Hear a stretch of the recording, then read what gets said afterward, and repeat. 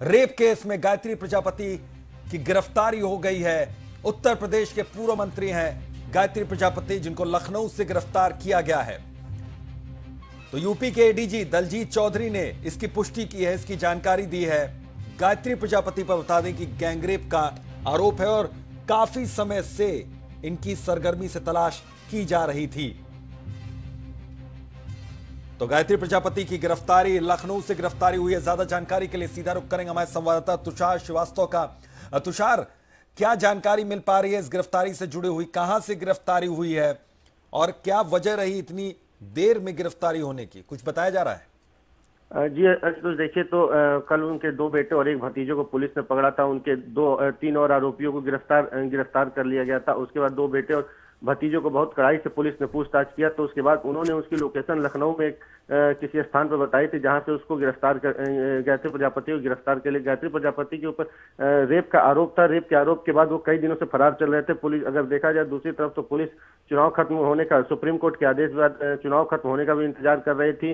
चुनाव खत्म होते ही पुलिस सक्रिय हो गई पुलिस सक्रिय होगी और उसके दो बेटे और भतीजे को पुलिस ने जैसे ही पकड़ा, उसके बाद गायत्री प्रजापति की गिरफ्तारी में बहुत आसानी से गिरफ़्तार हो गए। जी।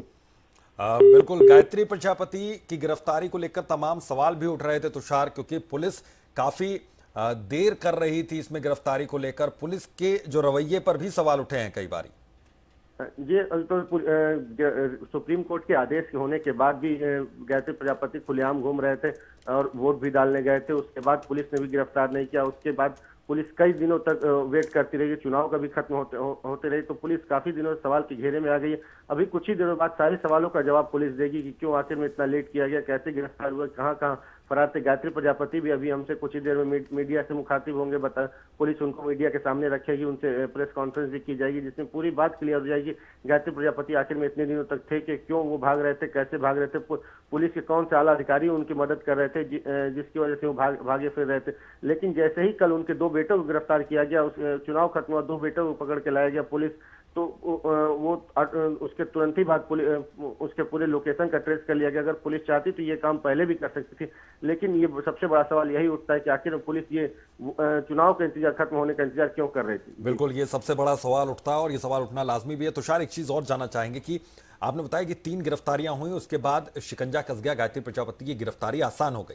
इससे पहले भी कुछ गिरफ्तारियाँ हुई थी। कुल मिला के लगभग कितनी गिरफ्तारियाँ हो गई हैं इस केस में? और गायत्री प्रजापति के साथ में भी क्या कोई पकड़ा गया है?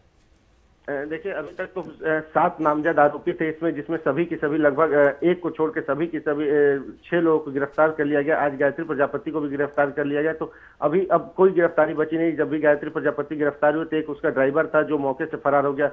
लेकिन वो आ, आरोपी नहीं है। उसको अभी अभी आलमबाग कोतवाली में रखा गया है। सीओ इस पूरे मामले की जाँच सीओ अमिता सिंह कर रही है जो वहाँ पे पूछताछ चल रही है। जी। बिल्कुल। अभी पूछताछ से कुछ जानकारी बाहर निकल कर आ पा रही है क्योंकि अखिलेश यादव ने भी एक वक्त में इशारों इशारों में कहा था, गायत्री प्रजापति को कि वो सरेंडर कर दें। बावजूद इसके उनके आदेश की अनदेखी की गई गायत्री प्रजापति की ओर से। देखिए यही सबसे बड़ा सवाल उठता है कि आखिर में अखिलेश यादव ने भी कहा और सुप्रीम कोर्ट भी का सख्त रवैया था। इस पूरे मामले पर सुप्रीम कोर्ट भी खुद एक नज़र बनाया हुआ था।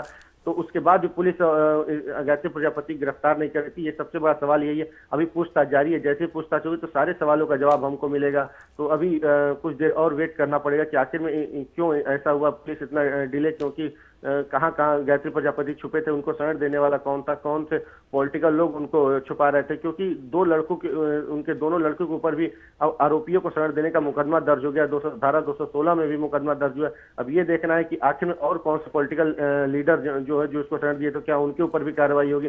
पुलिस के अधिकारी कौन से जो जो इनका सपोर्ट करते क्योंकि देखिए गायत्री प्रजापति की सपा सरकार में एक बहुत ही अच्छी हनक रही है काफ़ी पुलिस वालों का उनका साथ साथ में रहा तो काफ़ी दबदबा होने के बाद और क्या कई बार ये पार्टी के अंदर आए पार्टी बाहर गए कई बार इनसे पद छीना गया मंत्री पद का वापस मुलायम सिंह यादव का दबाव रहा वापस आए। तमाम उठापटक के बीच में इस वक्त की ये बड़ी खबर कि गायत्री प्रजापति की गिरफ्तारी हो गई है शिकंजा पुलिस का कस गया। बहुत बहुत शुक्रिया इस तमाम जानकारी के लिए तुषार।